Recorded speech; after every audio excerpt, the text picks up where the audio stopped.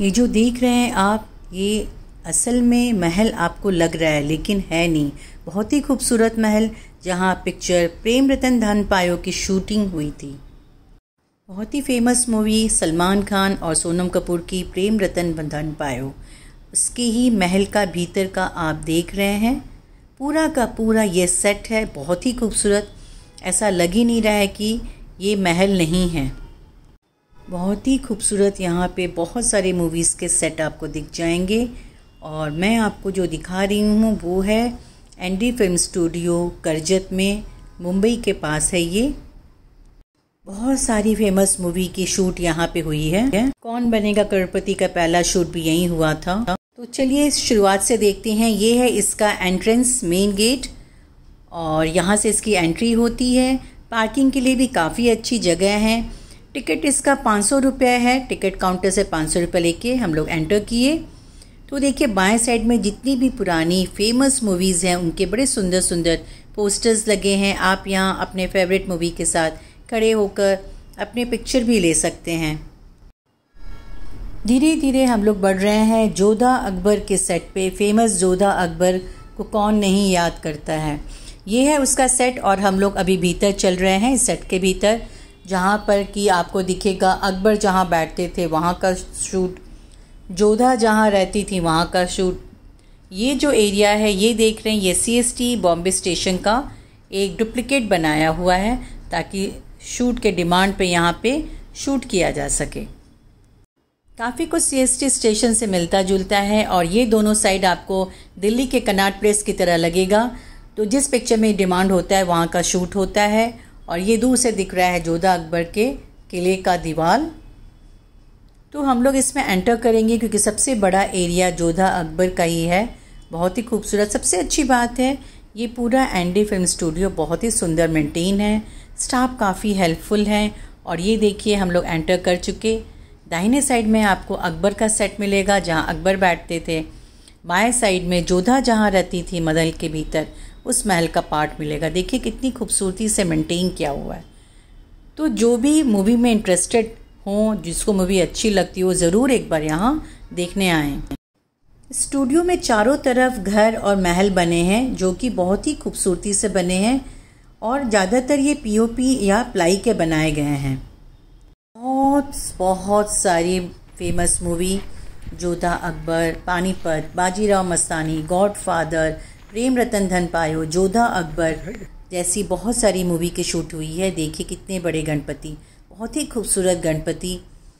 हर तरह के सेट यहाँ मिल जाते कहीं जेल खाना है तो कहीं अदालत है तो कहीं पे प्रेम रतन धन पायो मूवी का बहुत ही पॉपुलर स्पॉट ये सबको याद होगा कि शूट भी यहीं पे हुई थी और ये आज भी बहुत ही खूबसूरत है और बहुत ही अच्छी तरह से मेंटेन किया हुआ है।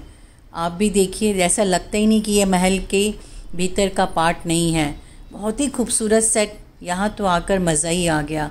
ऐसे लगा कि शायद ये कल का ही बना हो। इतनी सुंदर कांच की दीवारें शैंडिलियर्स लाइट्स लैम्प सभी बहुत खूबसूरत हैं। बहुत बड़े एरिया में स्टूडियो है और ये रहा पानीपत की शूटिंग जहाँ पे हुई थी।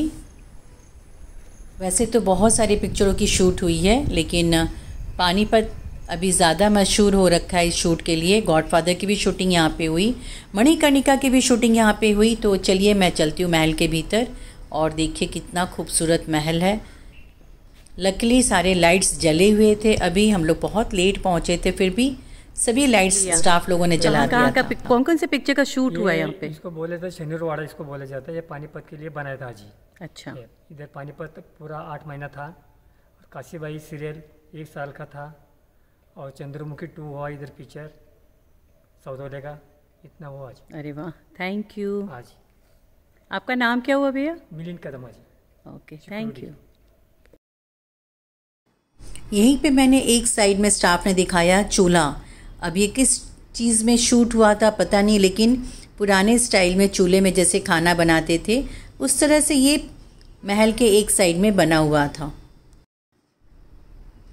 तो चलिए निकलते हैं पानीपत के महल से बाहर और ये जगह जगह बहुत ही विशाल हाथी के एक्चुअल हाथी के साइज़ के हाथी बने हुए और हम लोग अब आगे बढ़े।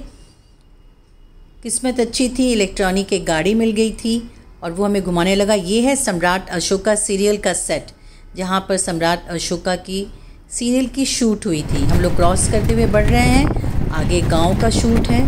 तो हम जाएँगे गाँव में। और ये पुराने तरह, पुराने ज़माने में जैसे रहते थे, उस तरह के घर बने हुए हैं।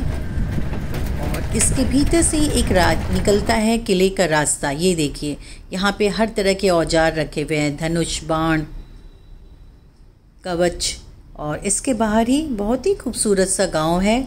मिट्टी और प्लाई से बना हुआ। मानसून का समय है, इसलिए देखने में भी बहुत खूबसूरत लग रहा है, हर चीज़। और कितनी साफ़ सुथरी ये जगह है, ये देखिए। रायगढ़ का फोर्ट बना हुआ है गाँव बना हुआ है। कुछ गाँव के घरों को आपने देखा कितनी तरह का सेट बना हुआ है। ये है रायगढ़ का फोर्ट जिसका मंदिर पीछे घंटी लगी हुई है और आसपास गाँव के सारे मकान बने हुए हैं। प्लास्टिक से कवर किए हुए क्योंकि बारिश का समय ख़राब नहीं हो जाए। तो बहुत ही खूबसूरत है। ऐसा नहीं कि मेंटेन नहीं है मेंटेन भी अच्छे से है। बस यहाँ घूमने के लिए दिन भर चाहिए पूरा दिन चाहिए। आप सुबह आ जाइए खाना पीना का सामान लेके और आराम से घूमिए, देखने लायक बहुत सारी चीज़ें हैं। सबसे अच्छी बात है मेंटेन है, आप इंजॉय कर सकते हैं। फैमिली के साथ आ सकते हैं, सुबह आठ बजे खुलता है, शाम के पाँच बजे तक। और इसका जो टिकट है, वो पाँच सौ रुपया है। खाना आप ला सकते हैं, अपने से खा सकते हैं आराम से। और बहुत इंपॉर्टेंट बात, मेरा वीडियो अच्छा लगे तो लाइक शेयर सब्सक्राइब कीजिएगा। और जो पहले से सब्सक्राइब कर लिए बहुत बहुत thank you Rekha blog live की तरफ़ से। थैंक यू नमस्कार